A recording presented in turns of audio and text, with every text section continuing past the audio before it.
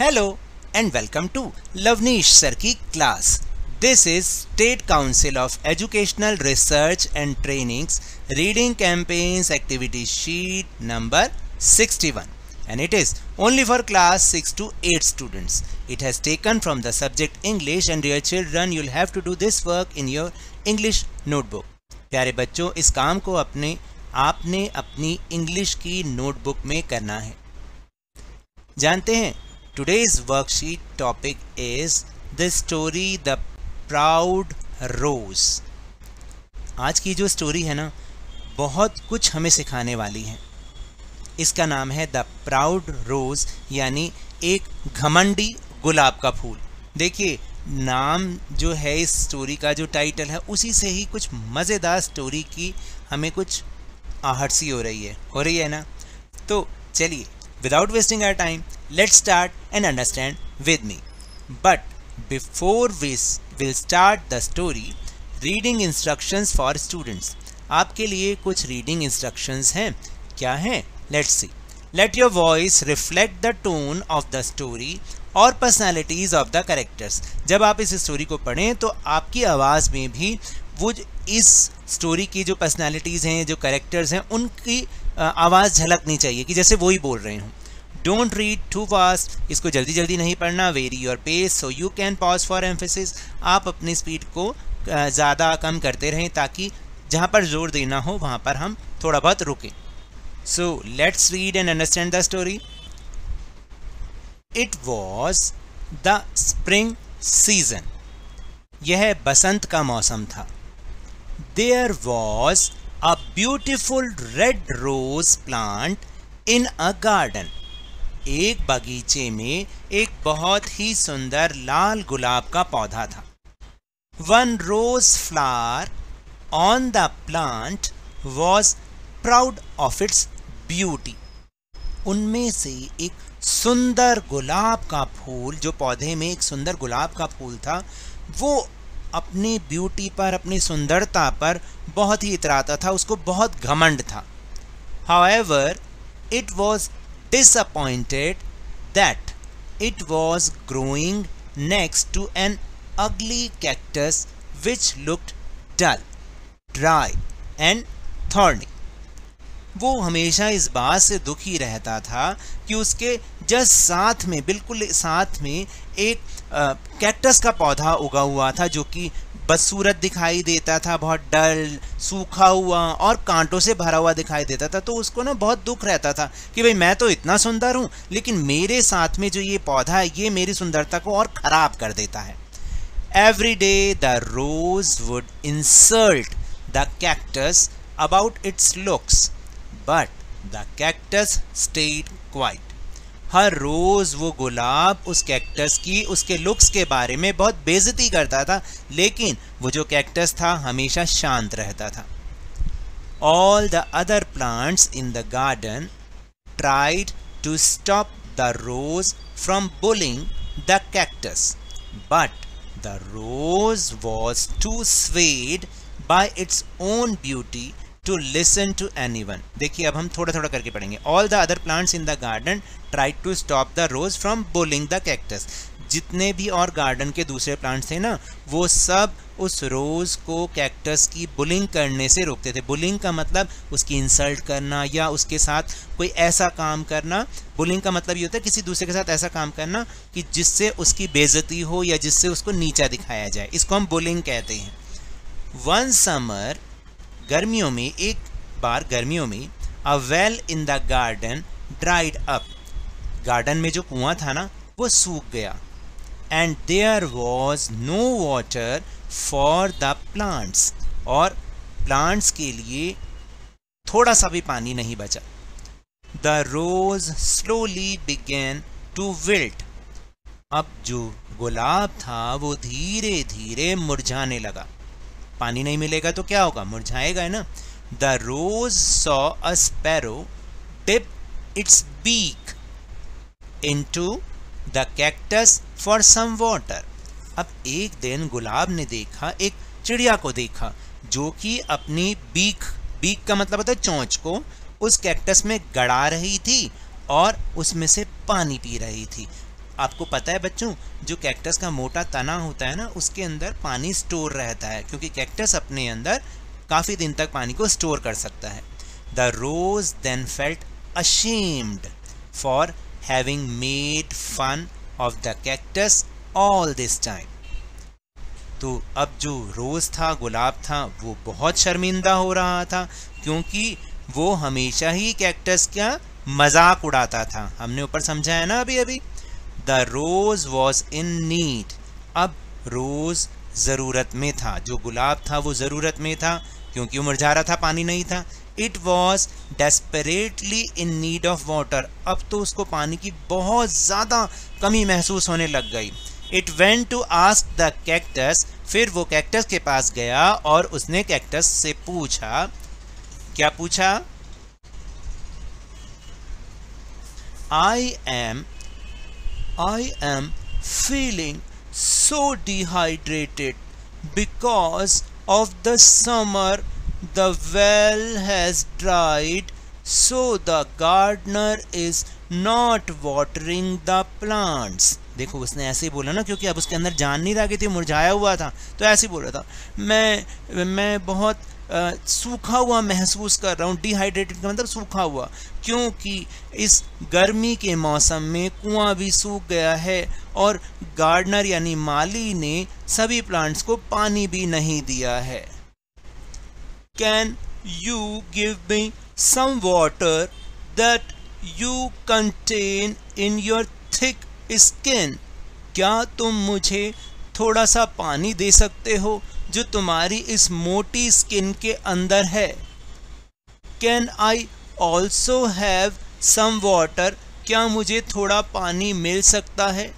The kind cactus agreed दयालु cactus तो दयालु था। वो तुरंत ही सहमत हो गया। It had plenty of water stored for the difficult summer season देखिए कैक्टस के अंदर क्या था? बहुत सारा पानी स्टोर था, जो कि कठिन गर्मियों के मौसम के लिए ही था। इसलिए आपने देखा होगा, रेगिस्तान में सिर्फ़ कैक्टस का पौधा ही रह पाता है और कोई पौधा प्लांट नहीं रह पाता है। तो इसलिए, इसका रीज़न यही है कि वो अपने अंदर काफ़ी दिन तक पानी को स्टोर कर सकता है। It offered the rose to take as much water as it wanted तब उसने गुलाब को इस बात के लिए अलाउ किया कि आपको जितना पानी चाहिए, आप उतना ले सकते हैं।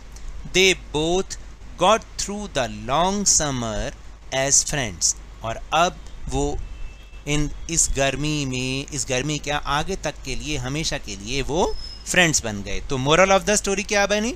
नेवर जज someone by the way one looks कभी भी किसी को उसके लुक्स के आधार पर जज नहीं करना चाहिए। उसके अंदर क्या क्वालिटीज़ हैं? मतलब उसकी जो बाहरी अपियरेंस है, उसका रंग रूप है, उस पर नहीं जज करना चाहिए। उसके अंदर गुण क्या है, उस पर उसको अच्छा या बुरा कहा जाना चाहिए।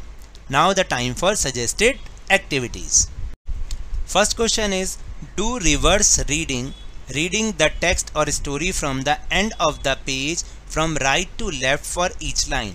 A model reading by the teacher is suggested. आपको क्या करना है? ये जो स्टोरी है, अब आपको ना इसको उल्टा पढ़ना है। यानी राइट टू लेफ़्ट पढ़ना है लास्ट लाइन से फ़र्स्ट लाइन तक। मैं आपको थोड़ा सा पढ़ के दिखाता हूँ। आप इसी तरीके से पूरी स्टोरी को पढ़ के देखना। उसका मतलब कुछ निकले ना निकले, लेकिन आपको मज़ा आएगा। जैसे friends as summer long the through got both they wanted it as water much as take to rose the offered it season summer difficult the for stored water of plenty had it agreed cactus kind the water some इस तरीके से आपको पूरी story पढ़नी है देखो मैंने अभी उल्टा उल्टा पढ़ना शुरू किया था है ना now will move on question number two देखो सेकंड क्वेश्चन है the story ends with the cactus agreeing to help the rose flower story कैसे ख़त्म हुई? कि कैक्टस एग्री कर लिया कैक्टस ने कि वो रोज फ्लावर की मदद करेगा। Do you think there could be another end of the story क्या आप सोच सकते हैं कि इस स्टोरी का कुछ अलग एंड भी हो सकता था?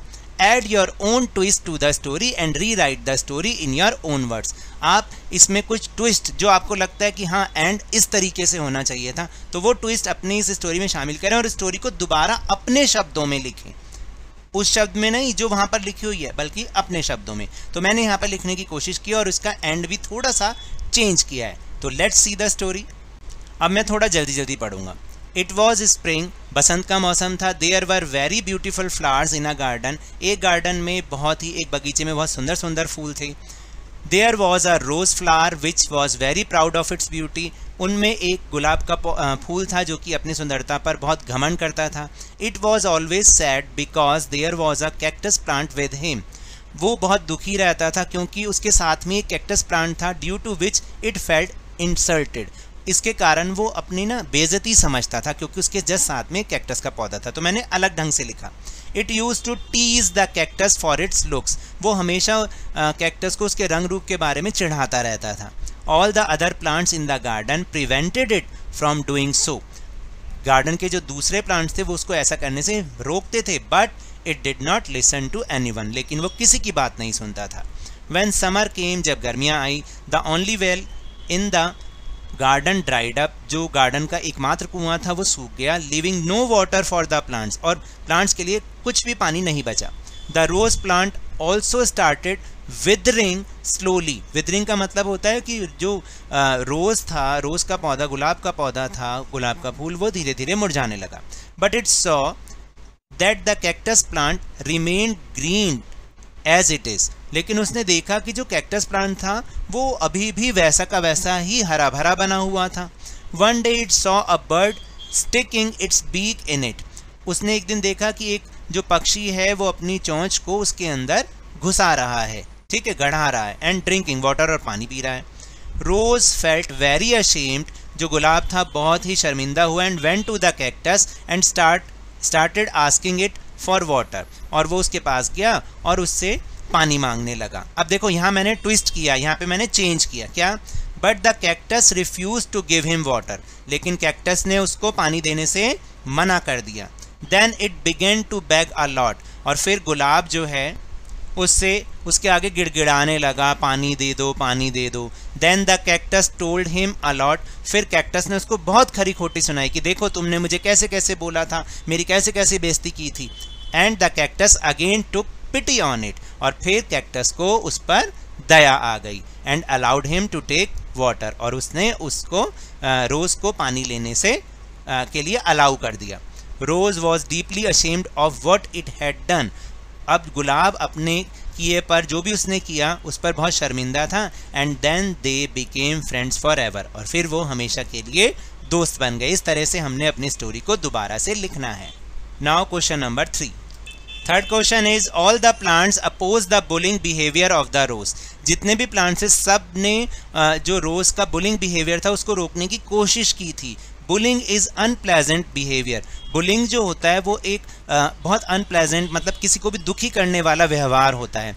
What should one do if bullied और अगर किसी को बुली करा जा रहा है किसी को धमकाया जा रहा है किसी के साथ गुंडागर्दी की जा रही है तो आ, मतलब उसको क्या करना चाहिए? Right at least three things you would do to stop bullying behaviour आप कम से कम तीन ऐसी चीज़ें लिखिए ताकि आप उस बुलिंग बिहेवियर को रोक सकें। तो देखिए क्या लिख सकते हैं? सबसे पहले रिपोर्ट बुलिंग हमें अगर हमारे साथ कुछ गलत हो रहा है तो उसकी रिपोर्ट करनी चाहिए। किससे? It is important for students to report any bullying to a parent और एन एडल्ट दे ट्रस्ट तो सबसे पहली बात है अगर आपके साथ कुछ गलत हो रहा है तो आप अपने पेरेंट्स को या फिर किसी ऐसे बड़े को जिस पर आप विश्वास करते हैं उसको ज़रूर बताएँ। फिर सेकेंड है डोंट बुली बैक मतलब कि आप जो है दोबारा से मतलब उसको भाई आ, मतलब बुली का जवाब मतलब आ, किसी ने आपको धमकाया तो उसका जवाब आपको बिल ऐसा ही ना दें कि उसको मारपीट उसके साथ शुरू कर दें। ऐसे नहीं करना। It may be difficult to not bully back मतलब ये आ, बहुत मुश्किल होता है कि अगर कोई आपको धमका रहा है और आप कुछ भी जवाब ना दें। But as the saying goes two wrongs don't make a right लेकिन जैसे कि एक कहावत है ना कि कभी भी दो गलत मिलकर एक सही नहीं बना सकते हैं। Try not to show anger और टीयर्स ना तो अपना गुस्सा दिखाएँ, ना अपनी कमज़ोरी, ना अपने आँसू दिखाएँ। इधर calmly tell the bully to stop bullying और सिंपली वॉक अवे आप या तो उसको बिल्कुल साफ़ शब्दों में कह दें कि ये जो आप मेरे साथ कर रहे हो, इसको रोक दो। या फिर चुपचाप वहाँ से चले जाएँ। ठीक है ना? और थर्ड वन है कि अवॉइड बीइंग अलोन ज़्यादा से ज़्यादा मतलब आप ग्रुप में शामिल रहें, अकेले, अकेला होना, उसको ना आप अवॉइड करें। Whenever possible avoid situations where they were there are no other students और टीचर्स ऐसी सिचुएशंस को अवॉइड करें कि जब आप अकेले हों। Try to go to the bathroom with a friend जब भी बाथरूम जाएँ तो किसी फ्रेंड के साथ जाएँ। Eat lunch in a group अगर लंच भी करें तो आप ग्रुप में करें या घर जाते समय भी दोस्तों के साथ ही जाएँ। अकेले वाली सिचुएशंस को अवॉइड करें। इस तरीके से हम बुली को रोक सकते हैं। So now that's all for this worksheet अगर मेरे इस तरह समझाने से अब आपको समझ में आने लगा है तो इस चैनल और वीडियो को लाइक कीजिए, बहुत ज़्यादा शेयर कीजिए, और अगर आप नए हैं तो जल्दी से सब्सक्राइब कर लीजिए, और इस चैनल के सब्सक्राइबर्स को प्लीज़ वन लैख तक पहुँचाने में मेरी बहुत हेल्प कीजिए एंड जो हमारा टेलीग्राम ऐप पर चैनल है लवनीश सर की क्लास उसको भी ज्वाइन करना ना भूलें, जिसको ज्वाइन करने का लिंक आपको इसी वीडियो के डिस्क्रिप्शन बॉक्स में मिल जाएगा। But remember whenever you will go outside please wear your mask और जब भी आपकी टर्न आए, कोरोना की वैक्सीनेशन ज़रूर लगवाएँ, क्योंकि कोरोना को हराना है और ज़िंदगी को एक बार फिर से सुहाना बनाना है। इसी उम्मीद के साथ थैंक यू वेरी मच